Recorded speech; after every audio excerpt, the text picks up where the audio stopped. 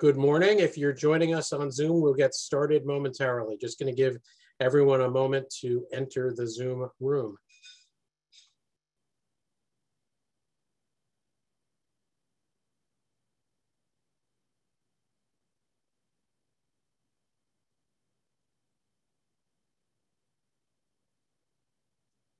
Good morning. Welcome to those of you joining on Zoom. We'll just give it a moment for everyone to load into the Zoom room and we'll get started momentarily.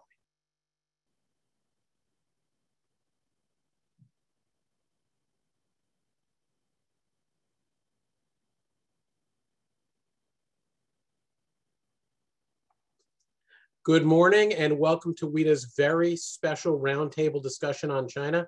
I am Ken Levinson, WITA's Executive Director, and we're delighted you could join us today. Before we get to today's event, we want to be sure you know about our event coming next week as we continue our trade and environment series by looking at carbon border adjustment measures on Wednesday, May 12th. You can find information about that event at www.wita.org or in the online event program we sent to you earlier today. That event is free to attend thanks to the support of our series sponsors, ISRI and Silverado Policy Accelerator. You can find, um, uh, as I mentioned, all the information about these events on our website, www.wita.org. Um, as you know, if you've watched some of our previous webinars, we like to call out the names of those of you who you are in community with, even if you can't see them on Zoom. So a welcome today to Eugene Laney, President and CEO at America, the American Association of Exporters and Importers. Congratulations on the new gig, Eugene. Vanessa Sciarra, who's also started a new job at the American Clean Power Association. Congratulations, Vanessa. Ambassador Charlene Barshefsky, who also has a new position as chair of Parkside Global Advisors, and Ambassador Don Johnson, Director Emeritus at the Dean Rusk International Law Center. Welcome Eugene, Vanessa, Charlene, and Don, and welcome to all of you. If you're watching this on Zoom, you can ask questions of our panelists using the Q&A tab. After Ryan gives us a brief overview of his book, we'll bring our panel on to discuss it with him and then get to your questions. I won't go into lengthy introductions of our speakers since you all have their bios, which we sent earlier this morning. But let me say what an honor it is to welcome them all here today. Ryan Hass, who served as director for China, Taiwan, and Mongolia at the National Security Council, and whose new book, Stronger, Adapting America's China Strategy in the Age of Competitive Interdependence, is going to kick off our discussion. He'll be joined after that by Amy Celico, who served as Senior Director for China Affairs at the Office of U.S. Trade Representative and is now at the Albright Stonebridge Group. John Pomfret, the author of The Beautiful Country and the Middle Kingdom, America and China, 1776 to the present, and a contributing editor, writer uh, for the Washington Post Global Opinion section.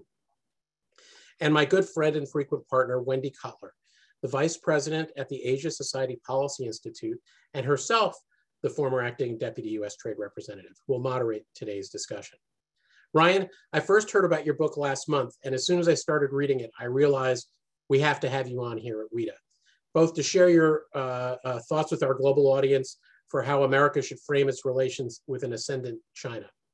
This is an issue that we all know is at the center of American foreign policy, national security, the environment, technology, global health, trade policy, and one that's impossible for us to get our arms around. That's why I'm so impressed with your book. In just under 200 pages, you're able to frame a new look, way to look at American-China uh, relationship and introduce a new phrase to our foreign policy lexicon, competitive interdependence. What can you tell us about that in the next 10 minutes? Well, first of all, Ken, thank you. And thank you to the WITA team for, for hosting me and allowing me to participate alongside such a distinguished group of panelists and friends. Uh, it's really an honor for me to be here. I, I will try my best to be uh, very efficient with these remarks because I think that the, the real value of this uh, event will be the conversation that we have amongst each other and, and with the audience. Um, but I did want to try to briefly situate the book um, so that we have a platform to launch from for, for our discussion. Uh, the book was written during the Trump presidency, but it is not intended to be a book about President Trump. It's not intended to be backward looking. Instead, it's really seeking to be forward looking. And um, the book was completed in, in late 2019, early 2020. At the time that uh, I submitted the manuscript, uh, Joe Biden had just finished, I think, fourth in Iowa and fifth in New Hampshire. Uh, the, the outcome of the Democratic primary was far from known, let alone the general election. So this wasn't a book that was, you know, written for uh, an expectation of any particular electoral outcome. But it was intended to try to offer a few ideas about where the relationship between the United States and China could go forward. And when the, the book was written, the relationship between the United States and China was in a pretty sharp downward trajectory. And you know, much of that trajectory was uh, driven by China's actions, I would argue. Uh, in the four years from 2016 to 2020, it's worth recalling that uh, President Xi abolished term limits. Uh, Hong Kong, uh, its character was changed. Xinjiang became an issue that uh, that everyone in the United States has now become aware of because of the detention facilities, concentration camps, whatever words you want to use. Um, Taiwan uh, has faced growing pressure. Uh, there is no longer talk of reform and opening. Now the talk is about dual circulation to guard against hostile external forces. And we have all become aware of China's drive for technology self-sufficiency. So a lot has happened, a lot has changed in, in that time period. And then, of course, the, the velocity of the downward trajectory uh, seemed to accelerate over the course of 2020 as both countries took turns blaming the other for the downturn in relations, for the spread of COVID 19 around the world and the consequences that, that followed it. And the net result was uh, what felt like a, you know, a relationship that was pretty quickly unraveling. Uh, the relationship was taking on increasingly moral and ideological tones. Uh, there was a growing, you know, hardening view in the United States that China was an enemy, and that uh, halting uh, China's progress was the goal, even if it came at the cost uh, of American interest. And I felt like this framing carried a few risks for us. Uh, the the first is that I worried that if we were to continue down this this path, we would find ourselves isolated and separated from our friends and allies around the world. Um, viewing China solely as an enemy just simply doesn't have purchase with any government I can think of anywhere in the world. And I'm not aware of a single country that is, uh, that is prepared to sign on to that uh, prescription. Uh, it also, you know, leads us down the path of viewing countries as pawns in, uh, in great power competition, um, rather than partners with whom we need to build a common agenda to forge, you know, a more productive partnership.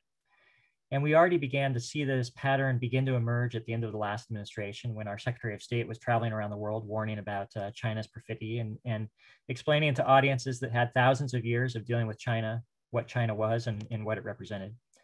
Um, but also, you know, if past this prologue, there is a concern, at least for me, that inflating the China challenge would force us to mobilize at home to meet this growing threat uh, in ways that would create pressure for uh, you know our limited resources to be increasingly uh, directed towards defense spending, um, and there would probably be accompanied by a surge in nationalism. And and if if past is precedent, then we would probably see a, a uptick in racism as well.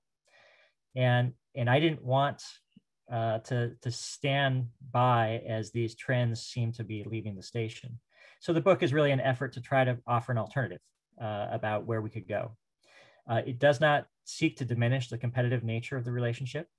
Uh, in fact, I, I, try to be as realistic as I can in identifying where there is acute competition uh, between the United States and China. But the book does try to leaven that competition with a certain awareness of the interdependence that exists alongside uh, the competitive dynamics in the relationship.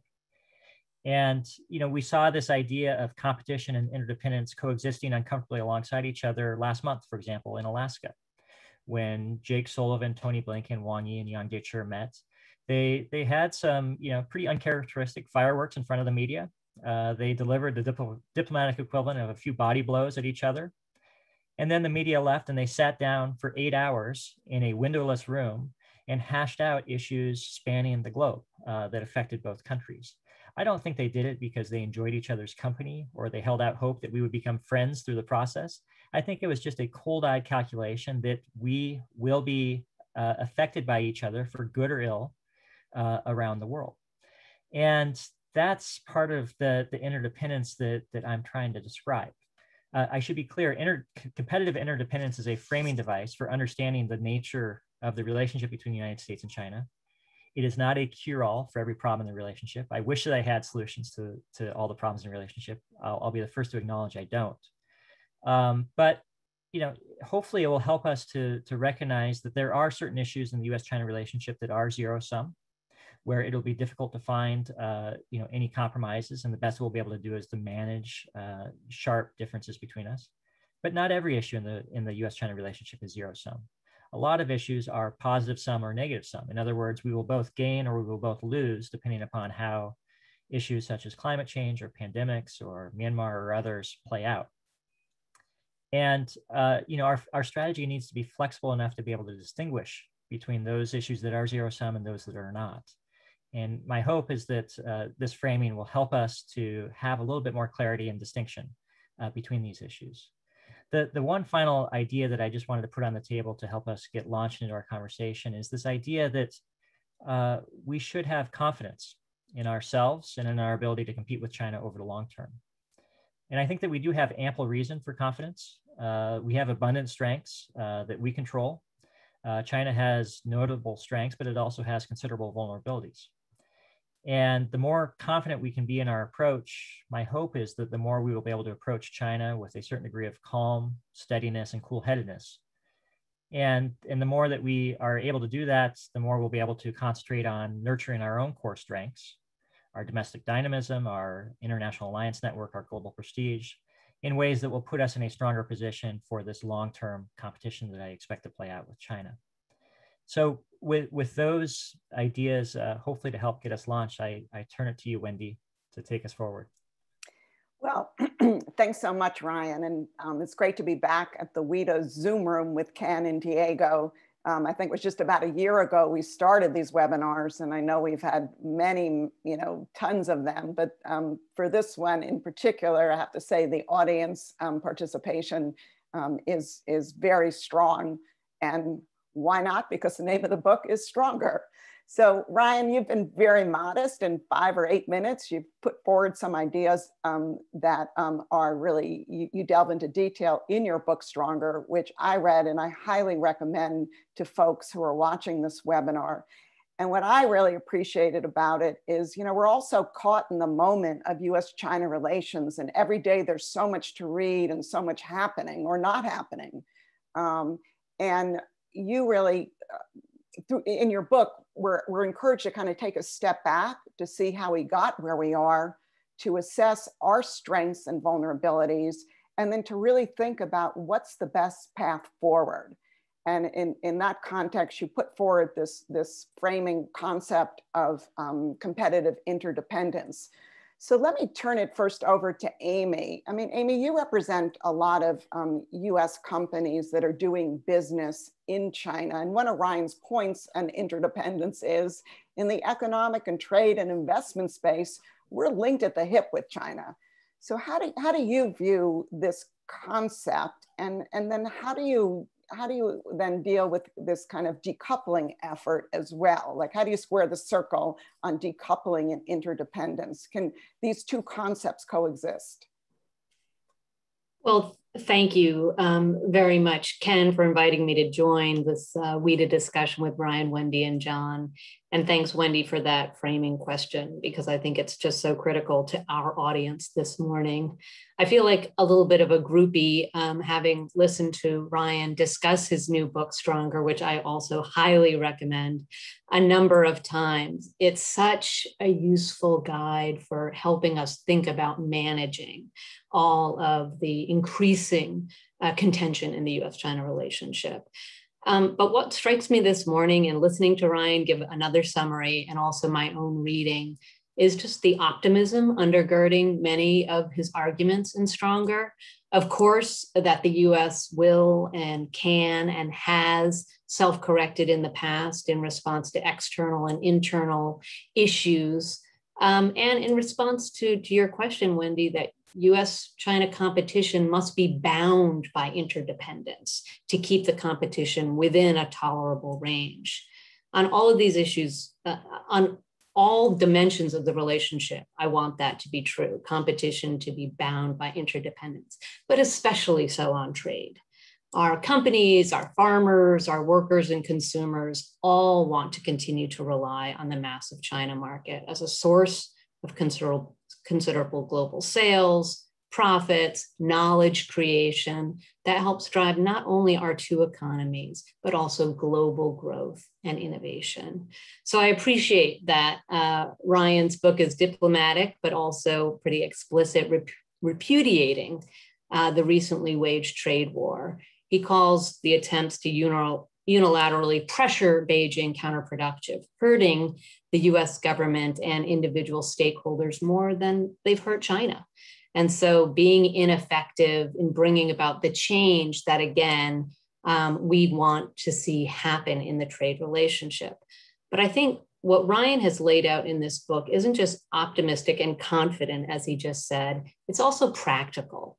As he's as he said, it's a framework for managing the relationship where our differences and our rivalry are going to continue to be a dominating narrative.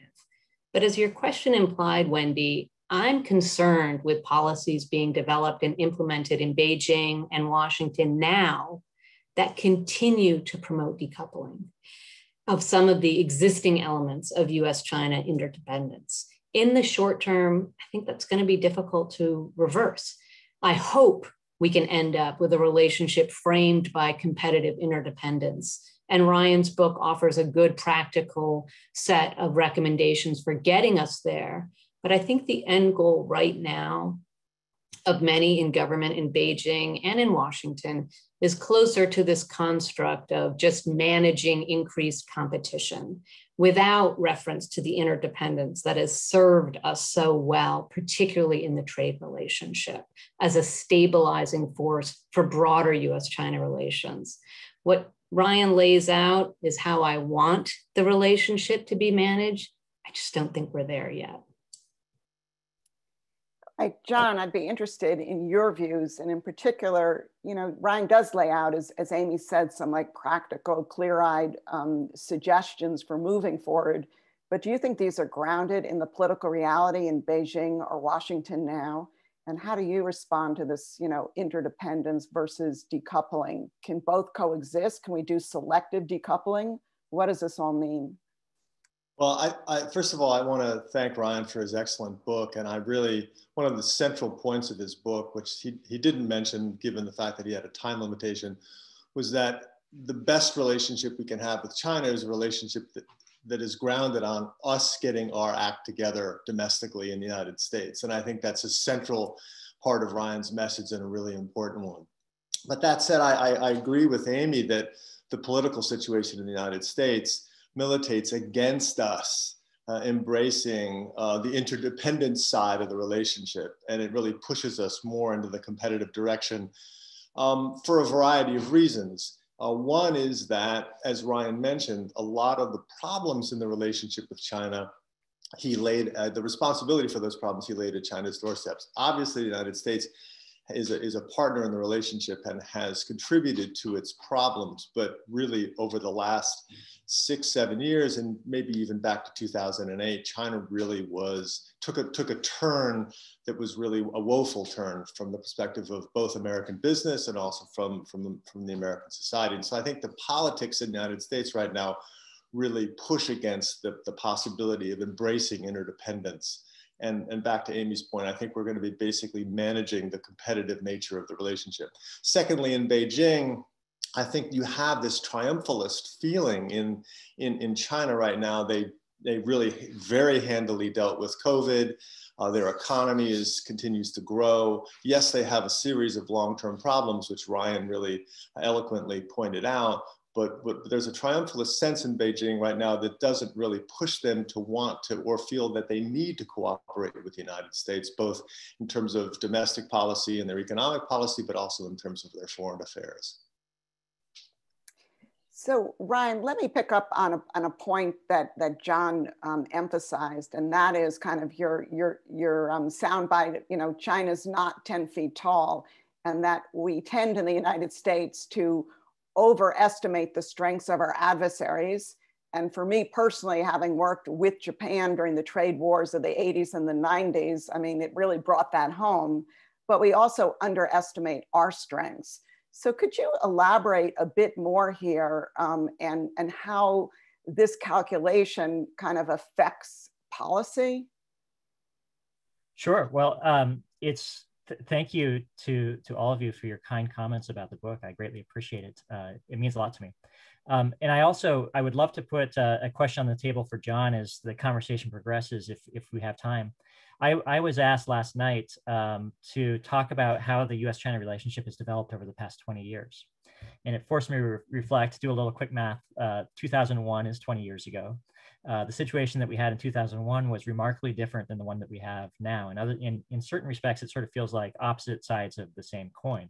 That's a, when China joined the WTO. Exactly. China joined the WTO. President Clinton was talking about uh, the liberalizing forces of China's, you know, economic integration into the international system. And there was, you know, just sort of a, a heady feeling that things were going to be moving in a, a direction that led in the direction of our interests and our values. And now, you know, we find ourselves 20 years later uh, with a high degree of pessimism about uh, the US-China relationship, a high degree of skepticism about China, the direction it's taking, the path that it's on.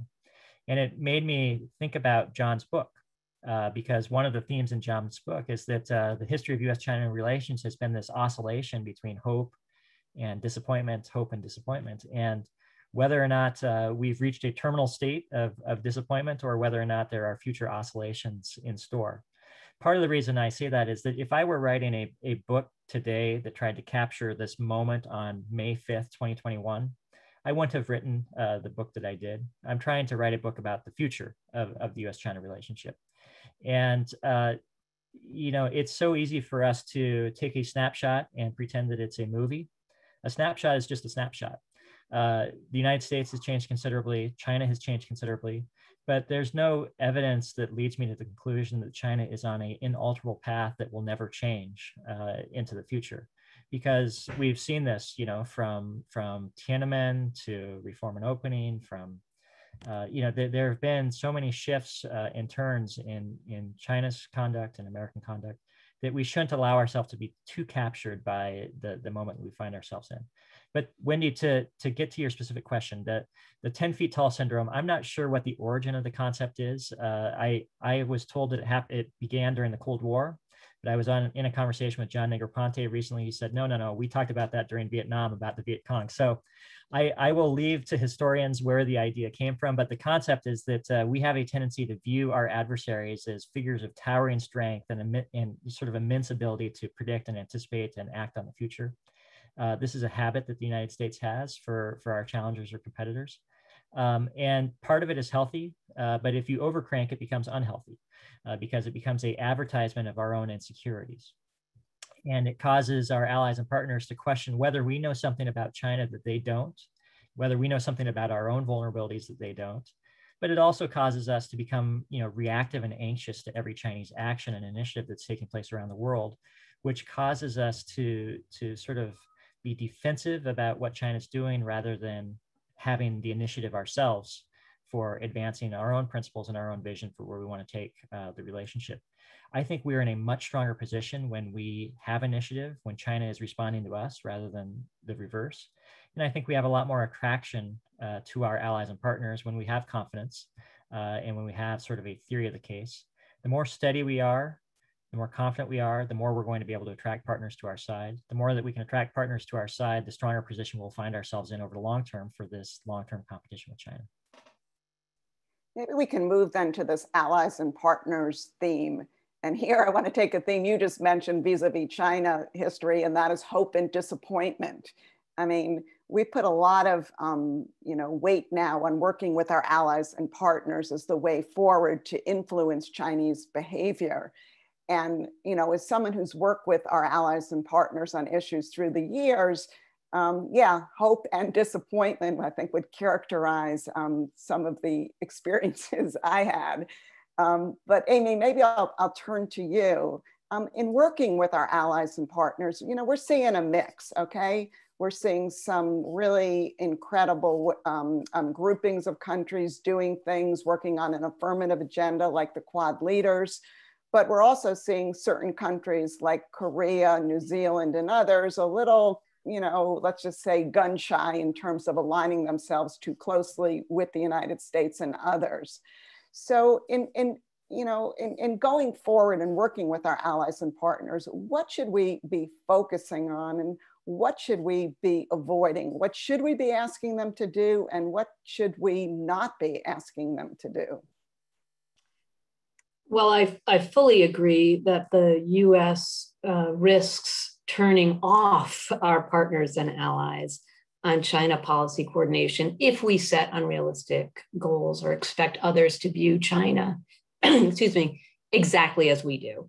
I thought it was helpful that we heard explicit uh, references recently from Secretary Blinken and, uh, and Jake Sullivan about what we're not asking others to do in concert with us. And that is not asking any country to choose sides between the US and China. I think Brian makes this point uh, very well in the book, and it's incredibly important as we've seen and heard, and I think felt over the past few months. To your question, Wendy, many countries don't want to be put in that position of needing to defend their support for working with the US or working with China, with one another. The US is in the midst of a, a course correction from unilateral policies on China and so this is the process of enlisting old friends and new ones. And it's a little bit harder than it probably needed to be. But as it's as is obvious from the reluctance of some, there is skepticism still about US long-term intentions and the ability to maintain the current policy trajectory that the administration needs to, to, to deal with head on. As Ryan argued, I think, in Stronger. And we heard, I actually was tuned into listening to Katherine Tai this morning. And one thing that she said was to remind our allies and partners that US China relations is best managed through their active participation because the relationship has global consequences.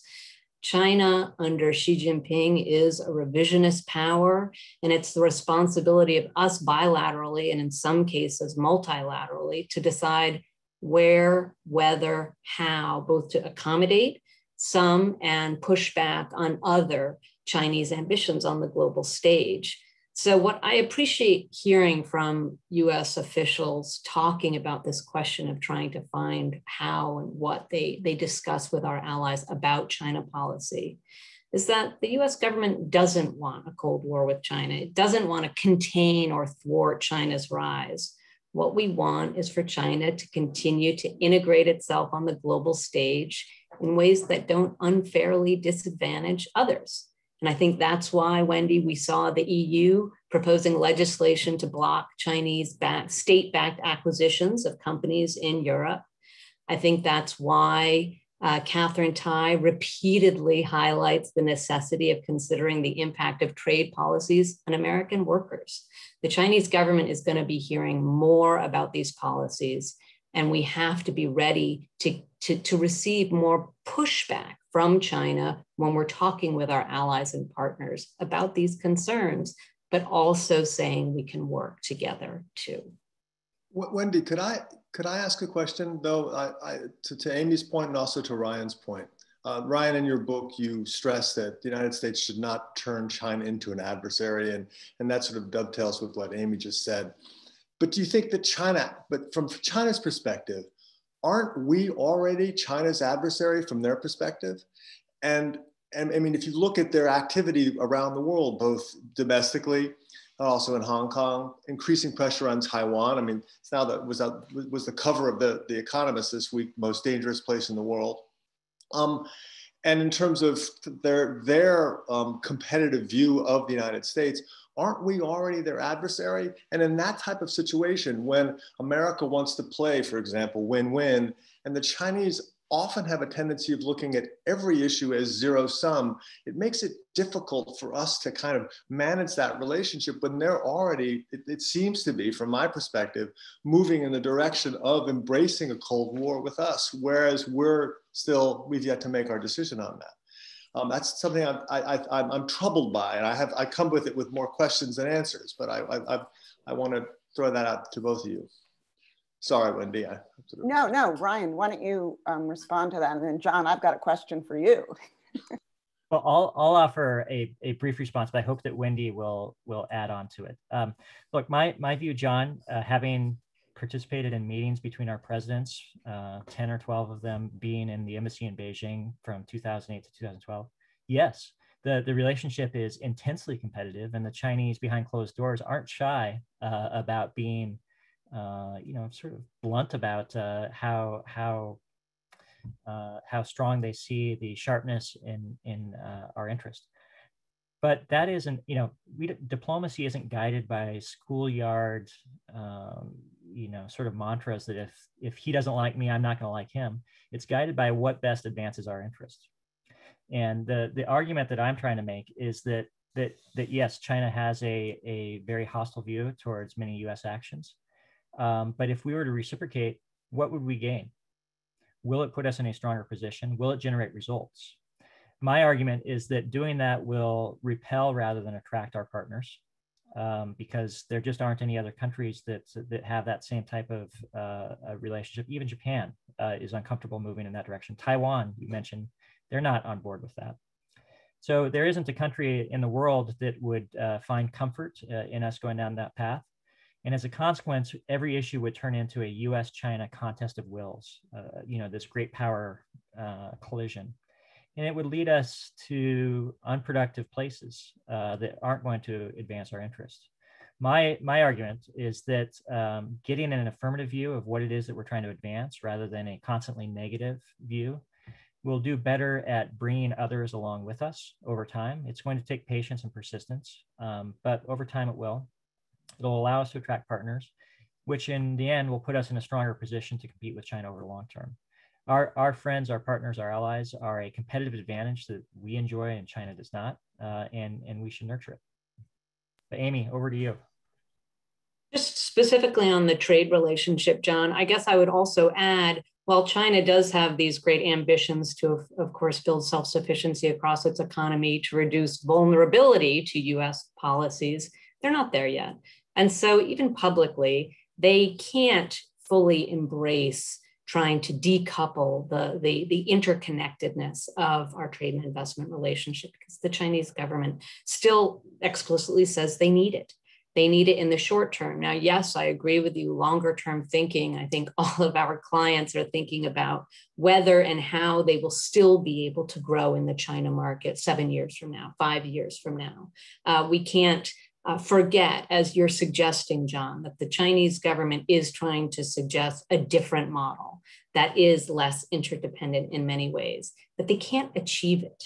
Um, so a lot of, I think some of this 10 foot tall syndrome that we that we sometimes fall into looking at China is what it says it wants to achieve and what its economic development goals are. They're not realistic across the board. And so we do have to be hashing through where are there opportunities to really come back to the interdependence of our two economies in a positive way as we're dealing with so many more issues that are not positive, that are very competitive and difficult. Um, maybe we can just go back to this kind of allies and partners and, and a, a, theme in Ryan's book, I think was we can't really change China's behavior. They're on their own tra trajectory, but maybe we can influence it. And I think what the Biden administration would say is the best way to influence this, their behavior would be in, in um, close coordination with our allies and partners. Um, John, do you do you buy into that? Do you think that we have the ability to influence China's behavior, or you know, do you think that they just have they're so overconfident now? They view they're rising, we're falling, and therefore time is on their side. That's a great question. I, I completely agree with Ryan's view that we need to approach China embedded in our alliances. And I've always been a proponent of that idea. I think it's been the it creates the healthiest relationship. Whether that is actually going to, um, to use the phrase that's been used for the last 40 years, shape China's rise, I think is, a, is, a, is still an open question. But I think the only way to approach China is with our friends and our partners. Um, when we do it independently, when we do things like overfly Japan in order to have a state visit with China and diss our allies, I think it's a mistake. Um, but whether it will ultimately end up in, succeeding in, in, in, shaping China's uh, choices, I think that's up to the Chinese to decide. But I think that's the only way to approach the country because we need to do it with our, with our homies, as it were. So I think the, the support for the growth of the Quad, closer relations with India, um, continued strong relations with South Korea despite its political problems, and obviously embedding um, our China relationship with a close relationship with Japan and with NATO as well, I think is the only way forward. So I completely agree. But whether it's going to succeed or not, back to Amy and Ryan's point, is still a very much an open question, specifically given the domestic issues in China happening now.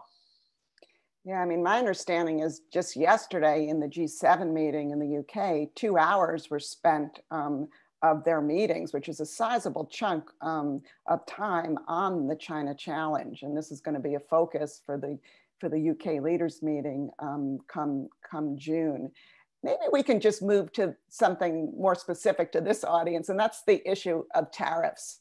Okay, we've got tariffs remain in place on about three on, on about 370 billion dollars worth of Chinese imports, most at 25 percent, some at 7.5 percent. China's got tariffs on 110 billion dollars worth of US imports into China. The US business community is just pushing the administration to lift those tariffs right away. Um, and you know, Katherine Tai has been on the record saying that you know this is something we're studying along with Tony Blinken and others as part of our review. But Katherine's also said, and you know, and I get this as a former trade negotiator, that this is potential leverage. But my question for, for this group is, is this really leverage? Are we overestimating the leverage we have with these tariffs? And the reason I ask this is even with all of these tariffs in place, you know, we we succeeded in, in a phase one trade agreement, which, you know, frankly did not address a lot of the core issues we sought to address when we went into that negotiation. So, and I'd also ask, has China really kind of accepted the cost of doing business with us? And that means tariffs.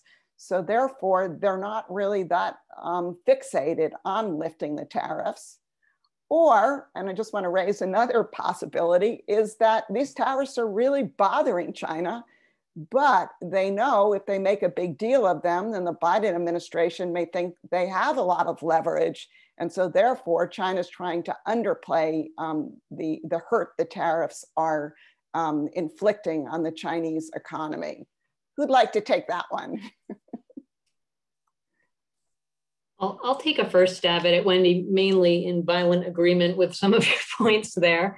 Um, I, I, would say that, of course, uh, any trade negotiator wouldn't give up chits, right, uh, from, from the get go. And so Ambassador Tai as well uh, well positioned to give uh, tariff relief when the US gets something. We all know there's domestic pressure on this administration. And so just not thinking about tariffs in terms of what are we going to get for lifting them is is is I think not politically realistic in Washington right now.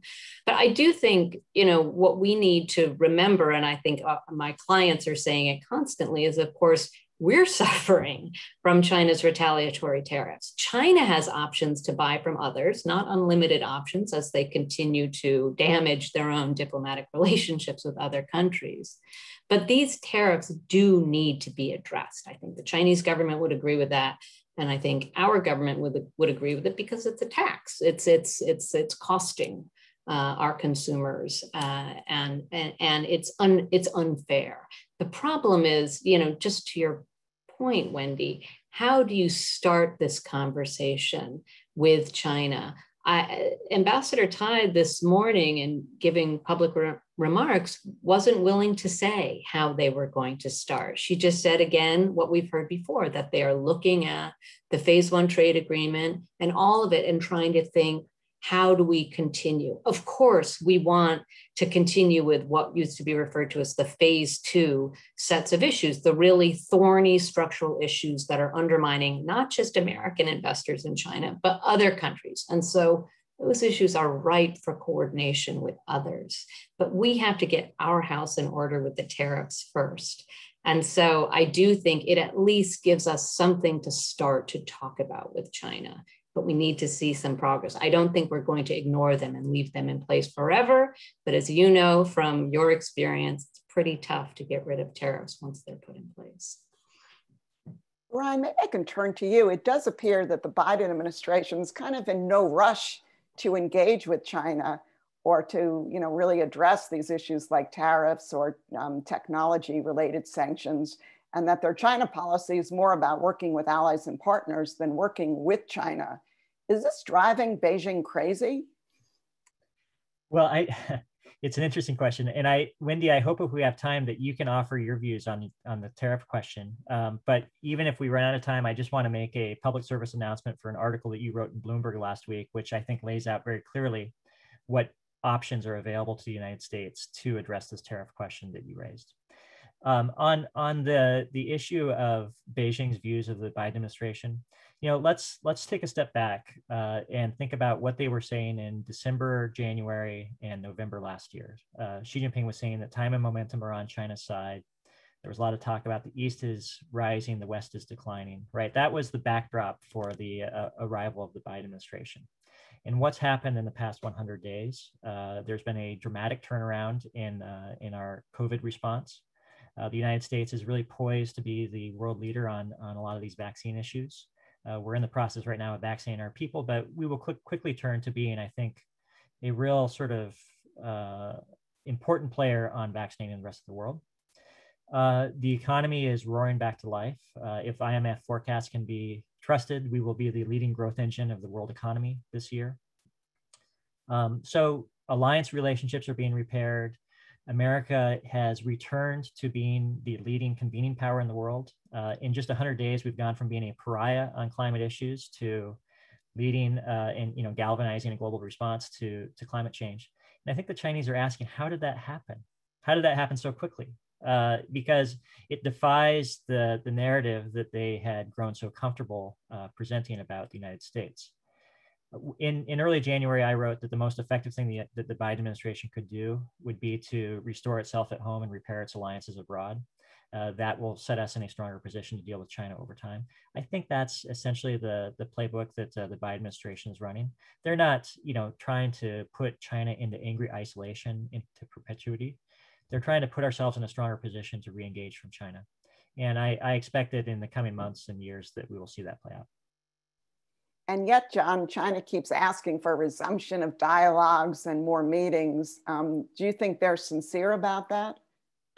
Generally speaking, yes. And I actually also think that we really haven't put China in an icebox. Um, we had the wonderful meeting in Alaska, and to Ryan's point, there was a lot of histrionics publicly for the cameras, but there was also eight hours of meetings in a, in a room with no windows. And in addition, John Kerry did go to China to talk about climate change. Um, and I thought actually he was remarkably, um, what's the word, mature about, about ensuring that climate change issues didn't bleed into broader policy issues, which the Chinese want to do. They want to pull climate change into the larger basket of US China relations in order to try to get benefits in basket A for their cooperation on climate change. And I thought he was remarkably um, uh, like I said, mature about that as well. So I think that under the surface, there is a lot going on between the two countries, but it's just not politically viable for the Biden administration to be announcing that as well. Can I just offer one, one quick addition? To, I think John makes a great point. There is a certain benefit to both leaders to having a, a manageable degree of friction in the relationship, right? Xi Jinping, uh, it's as long as the level of friction is manageable, it helps to make the case for why China needs to struggle. It feeds into the nationalist machine, the nationalism machine that is running hot uh, in China right now. And in the United States, you know, we've seen President Biden um, uh, invoke China as the need for us to take action on certain issues, whether it's infrastructure or building back better more broadly. So if if both leaders have confidence that they can manage the friction, uh, I think that they both see a certain value in in allowing it to run a little bit. And my sense is that both Joe Biden and Xi Jinping have a pretty high degree of confidence in their ability together uh, to manage the relationship and avoid it from tilting into, you know, spiraling escalation.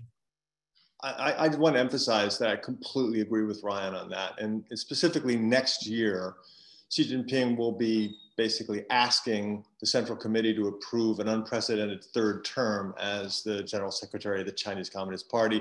There's no indication that he really faces significant blowback from anyone. But that said, it's a really an unprecedented move for somebody like him to, to declare themselves basically the president and the party secretary for life. And that's, that's going to be an interesting uh, moment in time for, for China politically. And I think increasing friction around China's borders plays into his narrative that they need him to continue the leadership of the Communist Party of China. If I could just add to what you're saying, John, but it, it really puts uh, Xi Jinping in a precarious position too, uh, because if an accident spirals out of control, or if uh, China is unsuccessful in working with the United States on, on any specific initiative, he's going to look weak. And so I do think, uh, I think Brian was saying, you know, this idea of they'll they will eventually they the two uh, leaders of our countries will deal with the relationship on their own terms does seem to be the safer course. Where i think that there are stakeholders uh, in washington who don't want to kick things down the road and so we haven't mentioned the role of congress yet but clearly uh, that is influencing how much um, uh, Xi Jinping and Joe Biden are going to be able to manage the timetable of engagement and dealing with thorny issues. There's a lot of pressure, I think, on Joe Biden to start to address these issues. And we've heard it from Secretary Blinken on this values based policy that forces Xi Jinping to react in a way I think is very uncomfortable. Wendy? Ken, I'm going to turn it over to you then for um, questions from viewers. I see we have a lot of them piling up. We, we do indeed. Thank you. Um, can keep the conversation going. Um, I mentioned to our speakers before we got started, I wanted this to feel like uh, the, the four of them were having uh, drinks at, at the Willard Hotel talking about China policy and the rest of us were eavesdropping on the conversation. So I feel like I'm pushing my chair into the table and saying some of the things that we're hearing from around the room. Um, eh, you know, thinking of the values, Amy, that you were just talking about, um, several of the questions uh, came in about Taiwan, um, how we deal with the issue of Taiwan. Um, it seems to be um, percolating higher up on the uh, for the Biden administration. They're talking about it more than we'd heard in recent years. Um, and our dear friend uh, Jim Colby uh, wants to put on the table, you know, how do we deal with some of those friction issues that are, you know, causing problems for on our values front related to Hong Kong, the treatment of the Uyghurs, you know, how, how do we in your in your concept, Ryan, of competitive interdependence, how do we how do we deal with some of these issues? Well, it's it's a great question. Um, you know, on Taiwan, it has generated a lot of attention recently as an issue as alarm has risen about the risk of conflict. Uh, I I am of the view that the the risk of conflict is probably less than is being discussed publicly but the challenge posed by China's ongoing active coercion of Taiwan is greater uh, than is being publicly recognized. In other words, I think that what Beijing is trying to do is create a sense of psychological vulnerability in Taiwan to encourage the people of Taiwan to feel like they are alone, isolated to deal with China, and that uh, and that their only path over the long term to peace and prosperity is to welcome the embrace of China and I worry sometimes that uh, the amount of attention that is being devoted to a, a low risk scenario uh, heightens that sense of vulnerability without offering any solutions to the vulnerabilities that Taiwan's facing. So my hope is that over time, we will begin to focus within the bounds of existing policy on the real things that we can do to help the people of Taiwan feel more comfortable and confident in their future. And I think there are things that we can do. We can help them feel greater dignity and respect on the world stage, create opportunities for them to be solutions providers for many of the problems that we're all grappling with, whether it's green technology or women's empowerment or, or pandemic preparedness. I mean, Taiwan is a world leader uh, in many of these areas, and they have a lot to offer. I think that we, we have uh, a responsibility to take a hard look at whether or not there's more that we can do to help Taiwan increase its economic diversification so that it doesn't feel reliant upon the mainland economy. And I hope over time that, that Wendy's former colleagues at USTR will, uh, will give that an, a fresh look. And then I, I also think that uh, there's a lot that we can do with Taiwan to help ensure that they remain at the leading edge of innovation, uh, as they are in semiconductors right now, um, because that's that's important for them. It's important for us. Uh, so I, I hope that as we move forward, we'll begin to focus on helping Taiwan, um, you know, build on its own existing strengths. If I can just add, I, I, just to echo what Ryan was saying, I think we really need to look for ways to strengthen and kind of upgrade our economic relationship with Taiwan. But I don't think we should be pursuing, uh, you know, a bilateral trade agreement, a free trade agreement with them. I don't think that's in the cards. We're not doing, you know, that's not the Biden trade policy right now. But what can we do short of a free trade agreement? And here, I think there are many different sectors where we have overlining and uh, over, overlapping interests, commonalities, and frankly, you know, in areas like digital, medical supply chains, semiconductors. Um, and I think we really should be looking at these areas and really kind of upgrade our overall relationship with China. And I would advocate that it's time to kind of put this TIFA side um, and really come up with kind of a new kind of framing mechanism for US Taiwan economic cooperation on trade and broader economic issues. Well, please, Sorry, please, Amy, go ahead. Excuse me, Ken, just to uh, reinforce, it certainly sounded like Ambassador Tai has embraced that view, Wendy, just this morning in talking about this issue, saying, let's not get, you know, stay focused on TIFA, FTA, let's talk, let's get creative in how we can expand uh, economic cooperation. Well, I'll admit I did not listen to her comments so, this morning, but so I, you were I, I echo them. Spot on, spot on how she's viewing these issues in response to a question about that, that topic.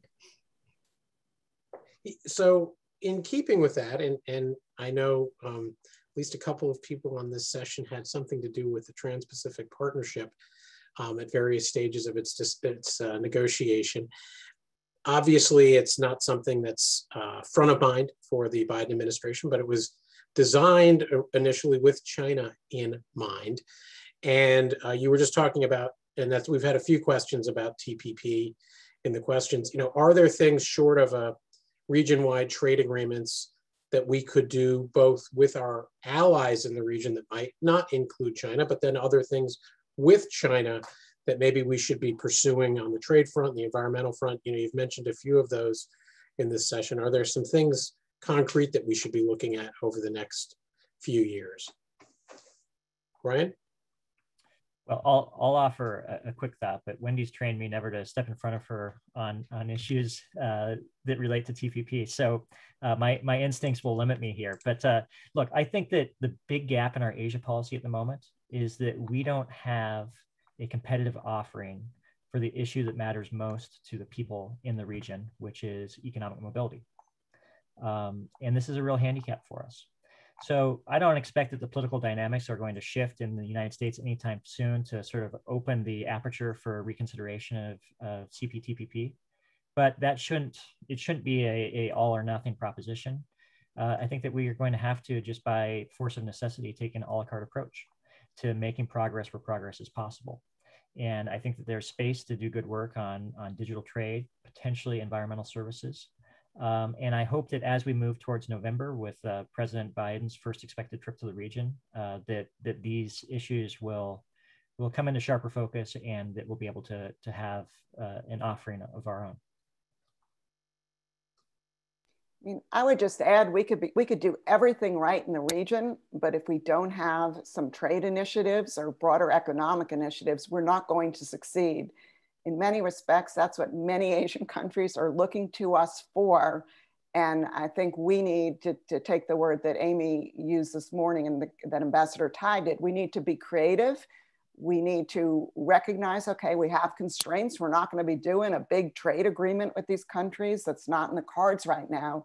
But what can we do short of that um, whether it be in digital trade medical supply chains broader supply chains climate and trade covid related issues? And then how can we build on that over time? And maybe as we go forward with sectoral initiatives, we find ourselves kind of headed towards something that is bigger, where there is the needed domestic support, um, you know, to to to help bring these agreements over the finish line. So um, I think there's a lot we can do in the region, but I think every month we're not coming forward with something, we're losing valuable time. RCEP is going to come into fruition probably the first quarter of 2022. Four countries now in the region have ratified it. CPTPP is now over two years in effect with the UK formally starting accession um, you know, procedures. And you know, who knows? China's expressed an interest, and I think many of us think they're not ready, but I don't think the story's over there on what China might seek um, with respect to CPTPP. So interesting, because you know I always thought of the original TPP as both carrots and sticks, as related to China, um, and sounds like they're nibbling at the carrots right now. But oh, Ryan, did you want to jump in for a second? Well, I, I was just going to say, I think Wendy raised an important point. You know, what part of what China China recognizes that they don't meet the criteria for entry into TPP, and uh, the fact that they are nevertheless voicing their ambition over time to, to enter TPP, it, it helps draw a contrast that China prefers, that they are invested in the region, that the United States is distant and unreliable. But it also helps, you know, seed a narrative that, uh, that, that China is the future, that China is going to be the center, and the United States is going to be out in outer orbit, you know, bickering with itself over its own domestic politics. This isn't good for us. Um, so I, I understand where we are in the United States at the moment, but I hope that uh, sooner and later our interest can guide us to a better place. So let me ask you a question, sort of, I'm almost thinking of like a, a schoolyard here um, or, you know, high school, um, you know, and I don't mean to belittle what the issue question I'm going to raise, it's Australia. Um, China's trying to silence foreign critics. Um, they get, they're very, very sensitive to critics overseas. And they're even talked about using, I saw one article criticizing uh, Adrian Zenz, who speaks about the Uyghurs, uh, using uh, the legal mechanisms as almost a form of warfare. Um, lawfare, I think they called it in a, a Chinese arm. What do we do about that sort of extraterritorial reach that they're trying to do? They're, they're you know, Australia is a member of RCEP, a member of TPP, and they're still sanctioning them over, you know, cr criticisms you know, what, what do we do with an ally in that, in that situation? John? Uh, I think we do what we're trying to do with Australia is back them completely. Uh, Kurt Campbell has made several pronouncements saying that we have Australia's back on this issue. Uh, in addition, we have to push back as strong as, as strongly as possible on issues like the national security law in Hong Kong, which seems to have global implications. So if I'm in Berkeley, California, basically lobbying on behalf of quote unquote Hong Kong independence, I could be charged and prosecuted if I returned to Hong Kong on a business trip. Um, so these type of issues, I think, are, are extremely important in terms of trying to push back with our allies um, and for our allies against Chinese overreach. Uh, and I think this is going to be an increasing issue in the future as China attempts to continue to, with using concentric circles to expand its influence, not simply in the physical space, but also in the internet space and in the ideological space as well. I think this is a major challenge for our system of values going forward. And just to put a footnote on that, it's an immediate challenge for our companies who are trying to operate in the China market because there is this, I think, proliferation right now of self-defensive me defensive mechanisms that can address what the Chinese call our extraterritoriality, the sanctions that we've imposed and other measures. And so we know that the Chinese government wants to have more options for retaliating against any policies that are critical uh, of Chinese priorities. And so I agree with John, you know, on how Australia is being treated. We, the United States, have to be strong and vocally supporting Australia, but we also have to be prepared that this is going to affect our companies too on the ground in China who are operating there.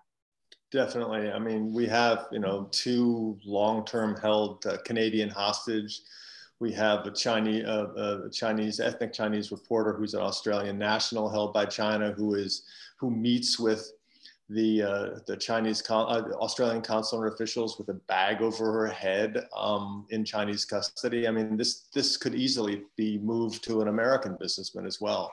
Um, so we really need to be prepared for that type of potential.